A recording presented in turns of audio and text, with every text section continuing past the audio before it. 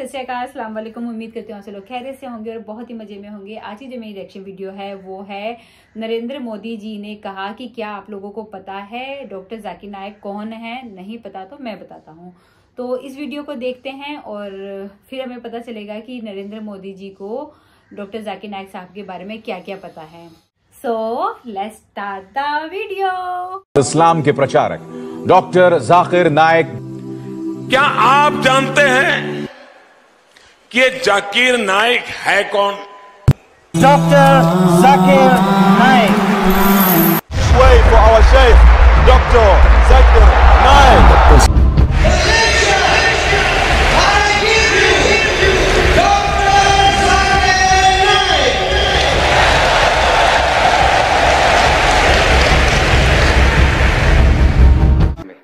अस्सलाम वालेकुम वरहमतुल्लाहि वबरकातुहू मेरा नाम मनोज कुमार गौड़ है मैं यूपी ईस्ट कानपुर का रहने वाला हूँ। मैं अभी जस्ट मुंबई में नया हूँ। मुझे यहाँ पे कोई नहीं जानता। कुछ दिनी भाई हैं जो मुझे जानते हैं यहाँ पे।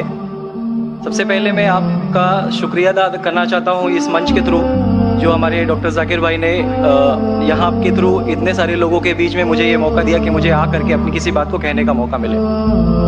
मैं एक ऐसी फैमिली से बिलोंग करता हूँ, जो कि इतनी सेपरेट फैमिली है, जो कि मुसलमान का नाम नहीं सुनना चाहती है। इवन मेरे घर में मुझे पीस चैनल को देखने और सुनने की परमिशन नहीं है। फिर भी अल्लाह तबारक ताला का एहसान है, करम है उनका कि मैं अपनी फैमिली का सबसे बड़ा बेटा हूँ। और मुझको अल्लाह तबारक ताला ने चुना। और ज़रिया बना पीस चैनल जिसपे मैं डॉक्टर जाकिर नायक और डॉक्टर इसरार अहमद, शेख सनाउल्ला, जिनकी तकरीरें सुनता था, जिनसे मेरे सारे मिसकनसेप्शन दूर हुए। और यूपी ईस्ट का रहने वाला हूँ, मेरी उम्र 25 साल है। मैं मुंबई में पहली बार आया हूँ, मैं यहाँ पे किसी को नहीं जानता था। और अल्लाह तबारक ताला से यही दुआ करता था कि अल्लाह ताला जब आपने मेरे को यहाँ तक पहुँचाया है कि इस्लाम को सही और गलत का जो मेरा कन्फ्यूज़न था, वो सारा दूर हो चुका तो अब मुझे ऐसी जगह पे पहुँचाइए जहाँ पे मैं इस्लाम को पूरी तरह से फॉलो कर सकूँ। क्योंकि मेरी फैमिली में, पूरे के पूरे फैमिली के मेंबर्स अगेंस्ट कोई भी बंदा मेरी बात सुनने के लिए तैयार नहीं। मैं अपने घर में इस तरह से रहता था कि जैसे एक लैंडलॉर्ड या कोई किराएदार रहता है बिल्कुल इस तरीके से बिल्कुल नेग्लेक्ट करके वो लोग मुझे रखते थे। मैं ये मैसेज उन अपने घर वालों को भी और उन हज़ारों लोगों को जो मुझे यूपी ईस्ट के जानते, पूरे यूपी ईस्ट का पूरा का पूरा बंदा जो भी मुझे देख रहा होगा, जो मुझे जान रहा होगा, उन तक ये मैसेज पहुंचाना चाहता हूँ कि इस्लाम कोई भी ऐसा काम नहीं करता है जिससे किसी माशरे को नुकसान पहुँचता हो। ये कोई टेररिज्म नहीं है, ये कोई ऐसा काम नहीं करता जिससे किसी को नुकसान पहुँचता हो। एक ऐसी फैमिली का बंदा जो कि मुसलमान के लिए इतनी गलत फहमी रखता हो, उसी घर का सबसे बड़ा बच्चा बाहर निकल करके इस बात को बताने के लिए तैयार है कि वो उनका दिमाग है, ये इस्लाम की तरफ़ से नहीं मिला है। तो मैं इस बात को कहना चाहता था, इस बात को बताना चाहता था। मैंने कभी सोचा भी नहीं था कि मुझे मौका मिलेगा कि मैं डायरेक्टली डॉक्टर जाकिर साहब के सामने आके उनका शुक्रिया अदा कर पाऊँगा। और जब मैंने पीस चैनल देखा तो पीस चैनल के थ्रू मुझे ये पहले पता चला क्योंकि मैं इससे पहले कुछ सोचता नहीं था। जो ज़िंदगी चल रही है, वो ज़िंदगी मेरे लिए काफ़ी थी। माँ है, बाप है, घर का सबसे बड़ा था। मैं एक वेल एस्टेब्लिश फैमिली का बंदा था तो मुझे ऐसा कुछ सोचता ही नहीं लगता था कि मुझे कुछ और भी करना चाहिए। लेकिन जब इस चैनल को देखा तो वाकई में मुझे पता चला कि मैं जहाँ पे हूँ ना, वो कुछ भी नहीं है। असल ज़िंदगी तो मौत के बाद है। क्योंकि मेरी ज़िंदगी जो है ना, वो सिर्फ़ यही सोचती है कि मैं जो जो जो कुछ भी सोच रहा हूँ मेरी ज़िंदगी के दायरे में लेकिन असल ज़िंदगी जो शुरुआत होती है वो मौत के बाद। हमारी हमारे वेद हमें सिखाते हैं नातस्य प्रतिमा अस्ति। फिर भी हम प्रतिमा को मानते मूर्ति को मानते देवी देवताओं को मानते। हमारा वेद हमें बताता है एकम ब्रह्मम द्वितीय नास्ति। यानी कि भगवान एक है दूसरा नहीं है नहीं है ही नहीं। उसके बाद भी हम 36 करोड़ देवताओं को मानते। तो हम क्यों हम अपने वेद को क्यों नहीं पढ़ते? हम अपने वेद को क्यों नहीं देखते? कि हमारा वेद हमें क्या सिखाना चाहता है? पे ना जाए। अगर कोई मुसलमान गलत करता है तो हम ये नहीं सोचे कि वो इस्लाम है। वो मुसलमान गलत हो सकता है लेकिन इस्लाम गलत नहीं हो सकता।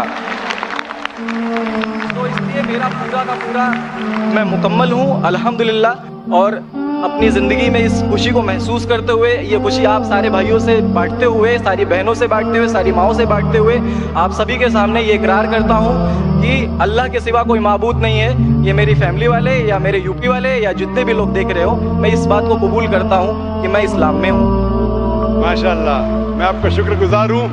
आपने पीस टीवी का पैगाम जो नक्शल में दिया, लगता है कि माशाल्लाह इतनी बार देखिए कि आपके जहन में उतर गया। और आप उसको मेमोराइज कर चुके मैं शुक्रगुजार हूँ आपका कि आपने पीस टीवी का मैसेज एक नटशल में दिया। और अलहमद जो भी आपने कहा, माशाल्लाह, और जो आपने याद के हवाले के साथ जो श्लोका माशाल्लाह, आपने कहा कि आप एक खुदा में मानते हैं जिसका कोई माबूद नहीं। बिल्कुल। आप मानते हैं मोहम्मद आखिरी है? कोई शक नहीं। आप इस्लाम कबूल करना चाहते हैं मेरे बिल्कुल। माशाल्लाह। आप पे कोई ज़बरदस्ती कर रहा है? कोई ज़बरदस्ती नहीं है कोई कोई कंफ्यूजन नहीं है। वेल सेटिस्फेक्शन है विदाउट एनी प्रेशर विद माशाल्लाह। आप तो शहादत के कंडीशन भी रख लिए पीस टीवी से माशाल्लाह। इंशाल्लाह मैं अरबी में कहूँगा और मैं चाहूँगा कि आप उसे दोहराएँ। इंशाल्लाह इंशाल्लाह ताला। अशहदु अशहदु अल्लाह अल्लाह इलाहा इलाहा इल्लल्लाह इल्लल्लाह व अशहदु अन्ना अन्ना मोहम्मदन मुहम्मदन व रसूलुहु। माशाल्लाह आपका अरबी भी एकदम माशाल्लाह अच्छी है मैं गवाही देता हूँ मैं गवाही देता हूँ कि कि अल्लाह अल्लाह के अलावा के अलावा कोई माबूद नहीं कोई माबूद नहीं और और मोहम्मद मोहम्मद सल्लल्लाहु अलैहि वसल्लम सल्लल्लाहु अलैहि वसल्लम उसके बंदे उसके बंदे और पैगंबर है। और पैगंबर है। माशाल्लाह मेरे हिसाब से आप दिल से पहले से ही मुसलमान थे अभी लोगों के सामने ज़ाहिर किया। अल्लाह सुबहाना तआला से दुआ करता हूँ कि आपको इस दुनिया में बेहतरीन ज़िंदगी दे लेकिन आखिरत में और बेहतरीन ज़िंदगी दे। और आप जानते हैं कि आपने दुनिया के ऐशो आराम को ठुकराया, क्योंकि आप जानते हैं कि आखिरत की ज़िंदगी इस दुनिया से बेहतर है। फिर भी अल्लाह ताला फरमाते हैं कि दुआ करो कि इस ज़िंदगी में भी सूर्य बकरा सूरा नंबर दो, आयत नंबर 201 में, रब्बना आतीना फिद दुनिया हसनतों व फिल आखिरत हसनत के नाजाब बिन्नार मैं दुआ करता अल्लाह ताला से कि आपको इस ज़िंदगी और आखिरत में भी सबसे बेहतरीन ज़िंदगी दे और आपको जहन्नम से बचाए और आपको जन्नत में डाले आमीन। Have the next question, inshallah. Dr. Zakir Nayak, firstly, I am greeting you as a namaste, and I am feeling very honored to talk with you, see you. My name is Ashok Kumar Vyas. I belongs from Hindu Brahmin and living in Bada Bazar.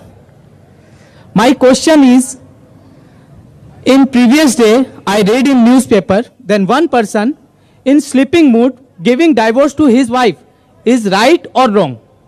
And what is the validity of this type of divorce? When he was sleeping, he tell talak, talak, talak, and giving divorce to his wife. भाई साहब सवाल पूछे कि अभी उन्हें paper में पढ़ा कि एक आदमी ने नींद के अंदर अपने बीवी को तलाक तलाक तलाक कहा। अगर कोई नींद के अंदर तलाक तलाक तलाक कहता है तो क्या तलाक हो जाती है? तलाक होने के काफ़ी शराइत है बहुत से है वक्त नहीं है। लेकिन अगर कोई बिना होश होश में नहीं है। चाहे वो शराब की हालत में है, चाहे वो नींद में है, अगर तलाक कहता है तो तलाक नहीं होती। चाहे नींद में हो या शराब की हालत में। शराब की हालत में भी आदमी का होश नहीं रहता है।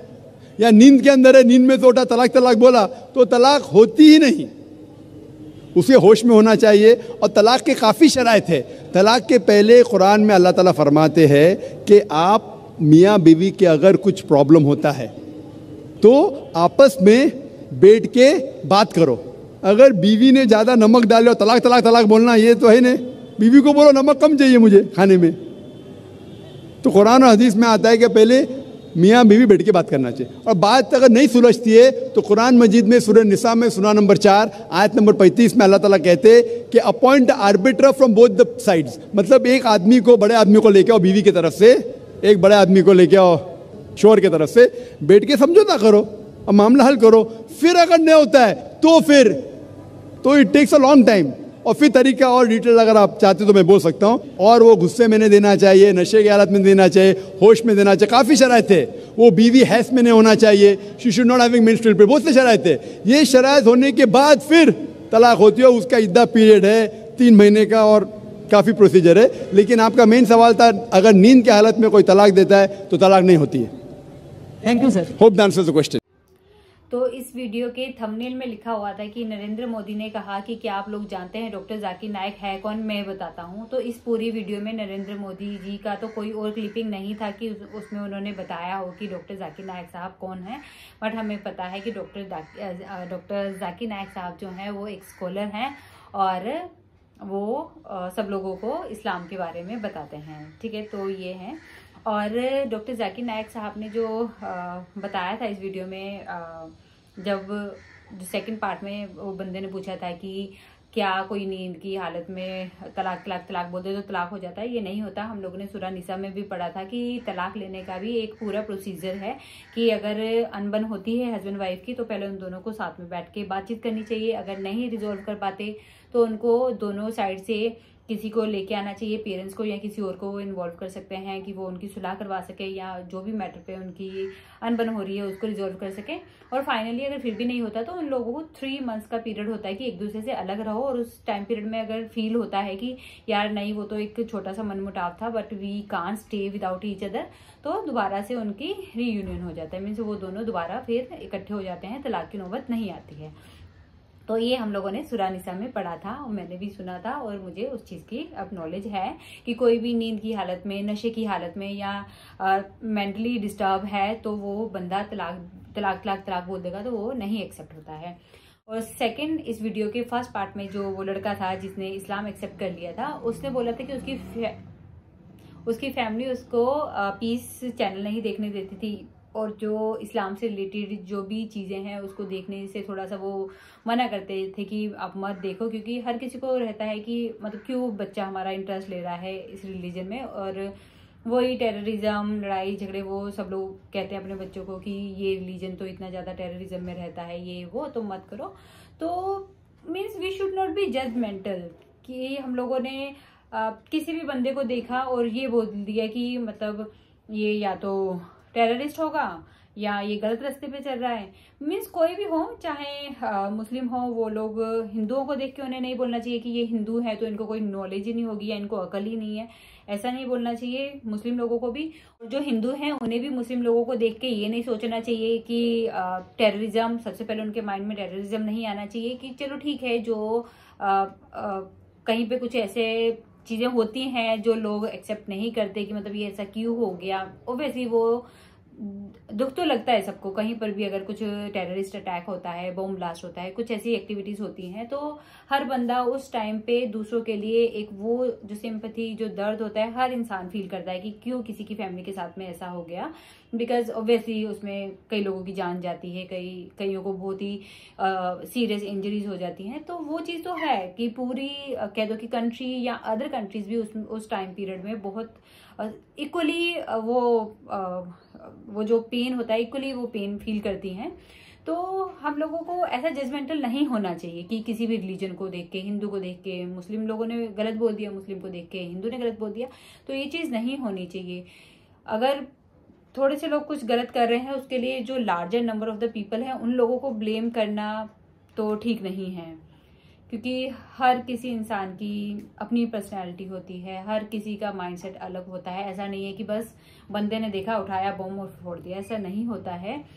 हम सब लोगों को एक दूसरे को रिस्पेक्ट देनी चाहिए, एक दूसरे से प्यार से रहना चाहिए। तो यही अल्टीमेटली जो पीस चैनल है, उसका भी मैसेज है।